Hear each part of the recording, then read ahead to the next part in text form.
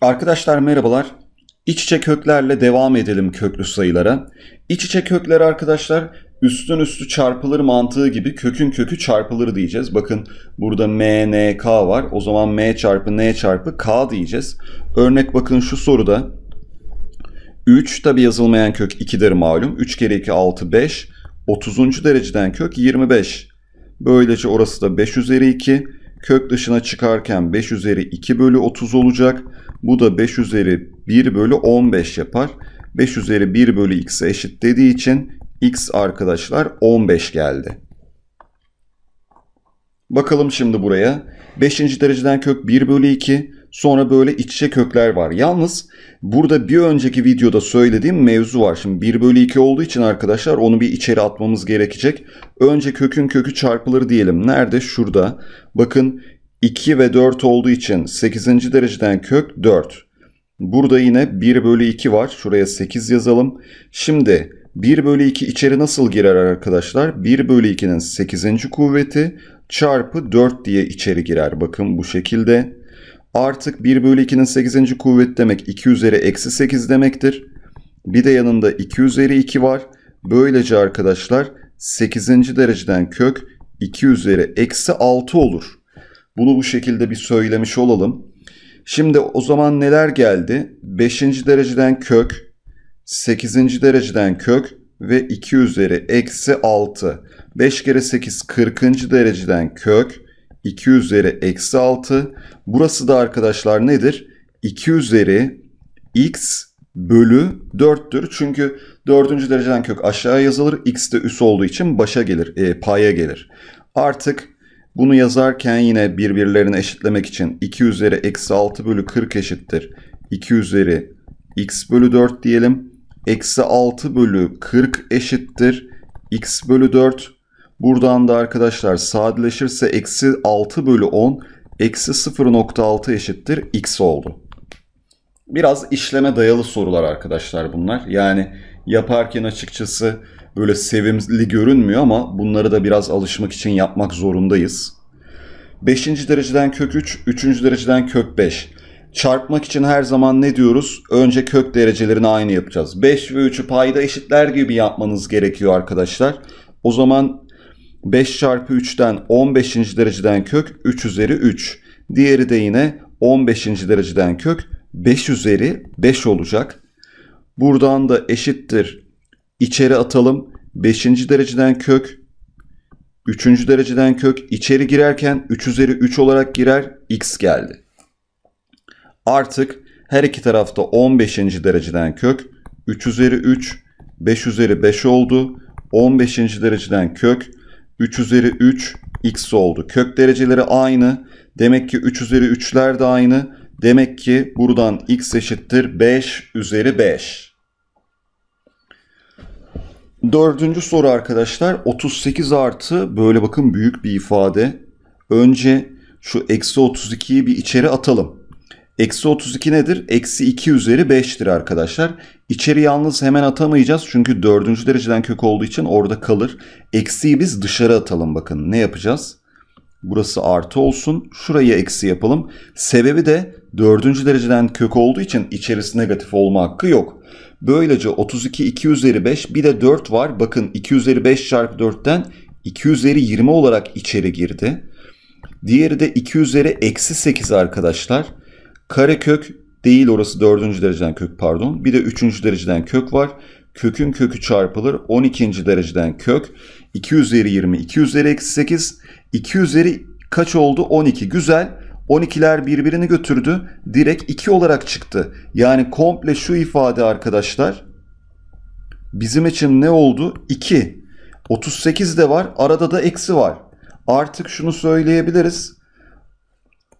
38 eksi 2 36 yani 6'ymış arkadaşlar. Bu kadar korkutucu görünen sorunun çözümü. Şimdi böyle bir e, kuralımız var arkadaşlar. A artı eksi 2 kök B kök içinde kök M artı kök N'dir. Yani şu çarpımları B'ye eşit olacak. Toplamları da A'ya eşit olacak. Bununla ilgili hemen bir örnek göstereyim size. 4 artı 2 kökçü ele alalım arkadaşlar. Çarpımları bakın 3 toplamları 4. Bu şu demektir. 3 kök 3 kök 1 diye bir şey yok zaten. Artı 1'in karesi bu ifade. Tabii ki üstünde bir kök olursa onlar birbirini götüreceği için kök 3 artı 1 diye çıkacak. Kök olursa arkadaşlar direkt böyle kök m artı kök n diye çıkacak. Kök olmazsa ama karesi olarak durmak zorunda. Yani farkı bir daha göstereyim. 4 artı 2 kök 3 kök 3 artı 1'in karesidir. Eğer köklü olursa 4 artı 2 kök 3'ün karekökü olursa kök 3 artı 1 olarak çıkacaktır. Bakın hemen alttaki örneğe de bakalım. 5 eksi 2 kök 6. 6 3 çarpı 2 5 3 artı 2. Kök 3 eksi kök 2 olacak. Karekök olduğu için normalde bu böyle ama karekökler birbirini götürecek dereceyle böyle kalacak. Burası da aynı şekilde arkadaşlar o zaman kök 3 artı kök 2 olur. Eşlenik yapmak zorundayız. Şıklar bakın istediğimiz gibi değil. Kök 3 eksi kök 2'dir.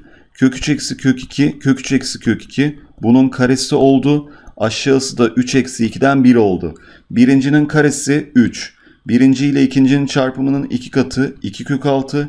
İkincinin karesi 2. 5 eksi 2 kök 6 geldi. Normalde fark ettiyseniz zaten ben bu işlemi böyle uzunca size gösterdim ama bu kök 3 eksi kök 2'nin karesi olduğu için direkt 5 eksi 2 kök 6'yı da fark edebilirdiniz. Evet gelelim buraya. 1 artı 4 kök 12 demiş. Kural arkadaşlar söyleyeyim.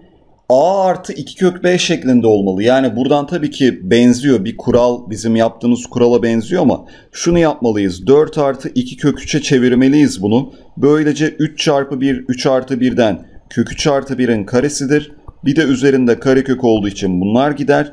Böylece bu ifade 1 artı kök 3 artı 1 eksi 1 eksi kök 3 eksi 1 olacaktır.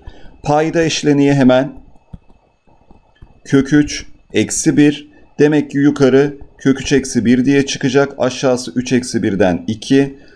Yine sağ tarafta arkadaşlar 1 bakalım kök 3 eksi 1'in eşleniği de kök 3 artı 1'dir. 3 eksi 1'den 2 olacak. Çıkartalım kök 3 eksi 1 eksi kök 3 eksi 1 kök 3'ler gitti. Eksi 2 bölü 2'den cevap eksi 1 geldi arkadaşlar. Kök 3 artı 1'in kübü 4 eksi 2 kök 3'ün kübü denmiş. Şimdi şöyle bir şey yapalım. Burası yine 3 çarpı 1 3 artı 1'den kök 3 eksi 1'in karesi arkadaşlar. Lütfen dikkat olun bu sefer e, burada şu kökü hemen götüreceğim. Ondan sonra küp alacağım. Kök 3 artı 1'in kübü.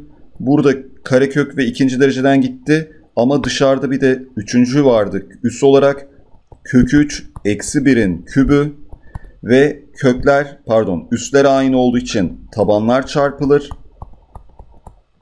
Üstüne 3'ü yerleştiririz. 3 eksi 1'den 2'nin kübü oldu. 8 geldi cevap. Bakalım aşağıya a ve b pozitif tam sayılardır. 1 bölü 9 eksi kök 80 demiş. Şimdi burada tabii ki ne yapacağız? Yine 2'ye benzetmek için bakın normalde kök 80 arkadaşlar 4 kök 5'tir 16 çarpı 5'ten ama kuralda katsayının 2 olması gerektiği için işimize yaramaz. Şunu yapacaksınız. 9 eksi 4 çarpı 20'dir. 2 kök 20 yapmalısınız ki kural manasında bir işine yarasın. 20 nedir? 4 çarpı 5. 9 nedir? 4 artı 5. Artık kök 5 eksi hangisi daha büyük tabii ki? Kök 5. O yüzden kök 5 eksi kök 4'ün karesi bir de karekök var gitti. Demek ki şu ifade arkadaşlar 1 bölü kök 5 eksi kök 4 dediğimizde 2 zaten. Kök 5 eksi 2. Eşleni kalırsak kök 5 artı 2 kök 5 artı 2 bölü aşağısı da 5 eksi 4'ten 1 oldu. Artık a'yı 2 bulduk. Kök 5'in katsayısı b olduğu için 1. Toplamları soruluyor arkadaşlar 3. Bir de size test çözeceğim.